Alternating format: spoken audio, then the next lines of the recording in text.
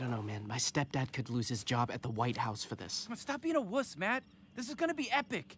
And when it's all over, we'll be the ones calling the shots. You sure it's gonna work? You got the schnapps? We dig up the immortal, drink from his skull, and wham! We get his powers. Easy as shit, man. It's just a rumor. Dude, I saw it on Reddit. Don't believe everything you read on the internet, kids.